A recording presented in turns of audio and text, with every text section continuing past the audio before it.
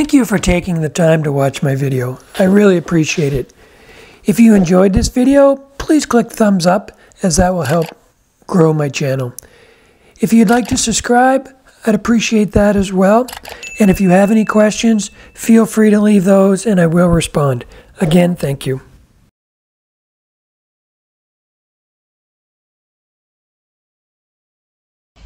So for this week's project, I'm going to pick a piece of elm that's live edge. And this is one that I had previously shown in another video that had been twice turned, meaning that I have turned this down thinner, less than an inch, and let it dry for a year uh, just to prevent any cracking.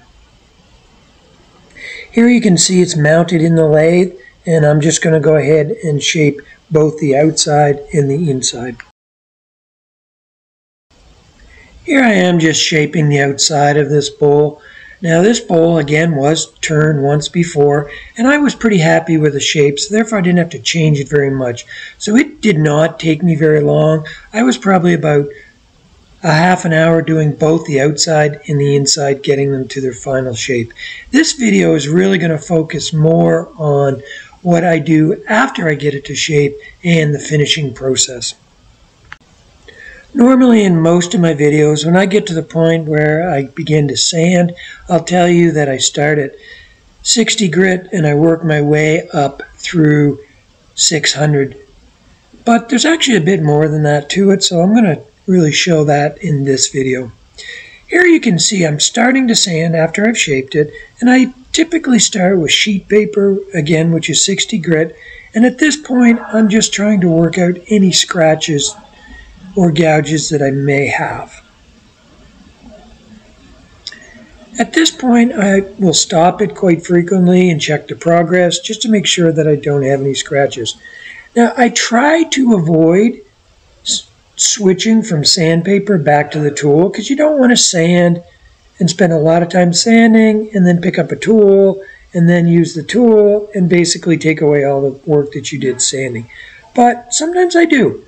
Sometimes I will sand and as I sand, then it becomes more obvious areas that need a little bit more attention. Maybe a gouge or something that's a little deeper that I can't sand out. So I'll just touch that lightly with the tool after I've done some sanding. Here I am doing some power sanding. Again, I'm stopping once in a while. Here I'm pointing out the areas where it's still a little bit rough, maybe a bit of tear out. You've heard me talk about tear out again in previous videos. And here I'm just touching those up. Often they're very difficult to get rid of, especially by sanding. So here I just touched it with the tool very, very lightly and then go back over and sand those trouble spots.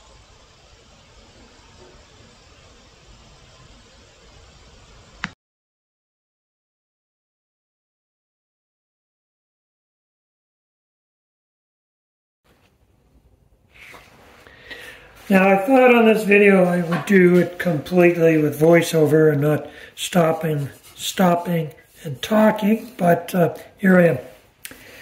Uh, I don't know if you can see that or not, but there is a little divot right there.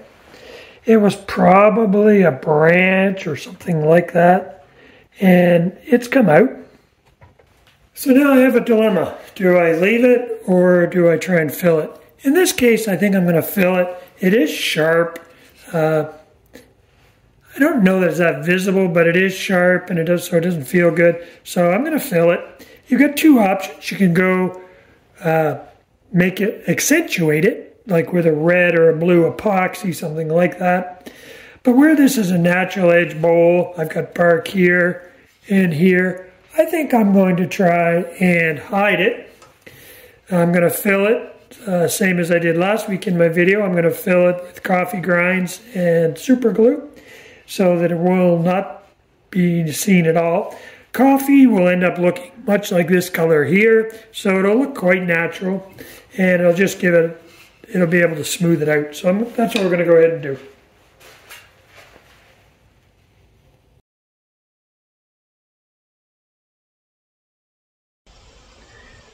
So here I'm applying the CA glue And the CA glue does a good job at giving structural integrity to the material. Then I just press coffee grinds into it and then hit it with accelerator. That just helps it to dry up almost instantly so that I can begin sanding right away.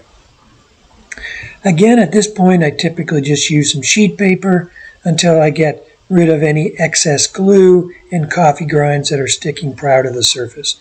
And then maybe just power sand a little bit.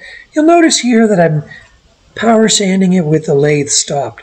The reason I do this is because I've fixed one spot, as that's spinning on the lathe, if I'm using sandpaper or power sanding, it'll tend to bounce every time it hits that, which will end up creating a low spot on the other side of it.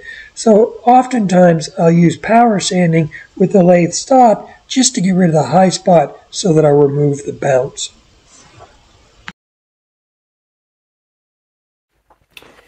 Again, I'm back.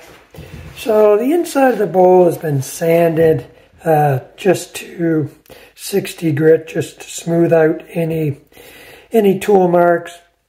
Uh, it's, it's pretty it's pretty smooth though. But you're going to see again another crack here, and I've seen it all along. It doesn't go all the way through, so I wasn't concerned about the structural integrity of it. But again, it needs to be filled. It's it's deep and it's wide.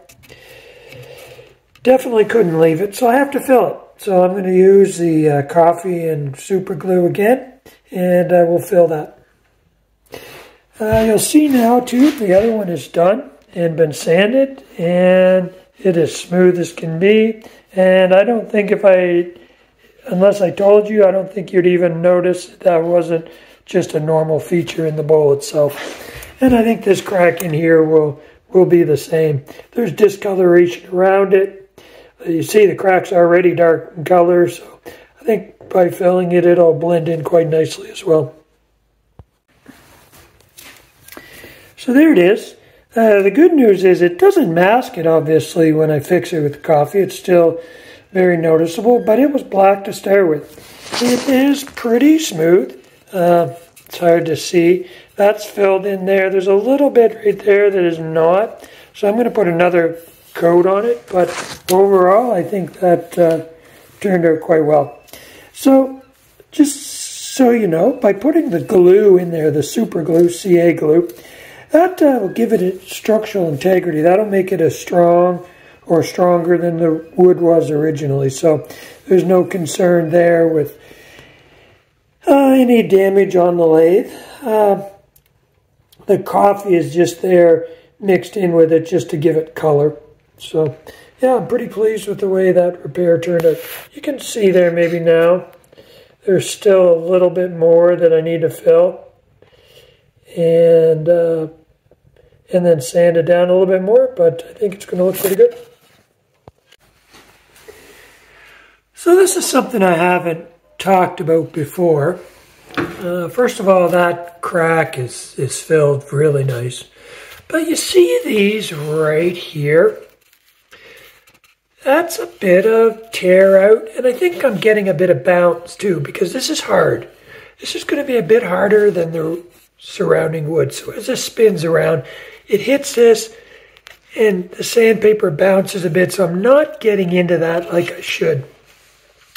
Now, I could put a finish on that and call it good, but you're going to see it. Uh, you might have to look hard, and maybe the untrained eye won't see it, but I certainly will. So I've got a couple options. Continue to try and sand it, and I am getting a bit of a ripple there, which again I think is coming from the bounce from here. Or I go back to the tool and I try and remove that line, that line, that line, that one, and that one. You, you run the risk of putting the tool to this now, that you make it worse. Uh, and but I also don't know that I'm going to be able to sand it. So I think I'll try my scraper just with a real, real light touch. See if I can diminish that a little bit before I give it another coat of sanding. So I'm ready to move on. Uh, I ended up that I just sanded it. I did not put a tool up against it, uh, not in that spot at least. I did right at the very bottom here. But uh, again, just to talk about this, at this point, I've sanded with 60 grit. And I want to make sure that there's no lines left, there's no spots that need to be fixed before I move on to the next grit. So you got to spend the time. Once I get to this point, I'll move up through the grits fairly quickly. I turned this bowl in a less than a half hour. I've spent an hour working on sanding it and filling that crack. So on this bowl, I spent a lot more time in the finishing part than I have in the turning. Again, at this point in the video, I typically just say that I'm using my uh, abrasive paste and polishing paste and skip over it. I will give a little bit more detail. So I did do a video up of how I made this homemade abrasive paste and polishing paste. So typically I apply the abrasive paste first on the lathe with it stopped. The only reason for that is if you turn it on uh, while you're applying it, it just tends to throw it across the room. So I'll rub it in a little bit with the lathe stopped, and then once it's rubbed in, then I will rub it with the paper towel. So again, I've mentioned this before, but I rub it in and then change the cloth and keep going until it's clean before I put on the polishing paste. You can see that this darkens the wood up really well and really starts to make it shine.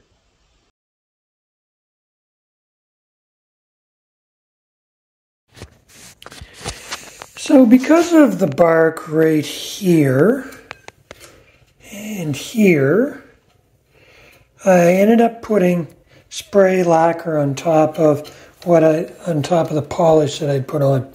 Normally, if it wasn't for that bark, I would have just went with the uh, abrasive paste and the abrasive polish. But because of that bark, which I can't obviously rub any friction finishes on, then I sprayed it with lacquer. But you can see here now, it's shiny as glass, a nice smooth surface all around, and this bowl is finished. I put four coats of the lacquer thinner on it. So here's this week's finished product. I think it turned out quite well. Glad that I was able to maintain the uh, live edge here on the with the bark on the outside. Uh, you can see the repair inside there where we, we talked about in the video. It's it's unrecognizable and it's smooth as smooth as glass. I've also engraved my logo on the bottom of the bowl. This bowl is for sale. And uh, don't forget to leave a comment. Uh, if you want to be entered into the contest, leave a comment saying contest in the comments. And uh, when I reach 500 subscribers, we will be doing a draw for a bowl. So thank you very much.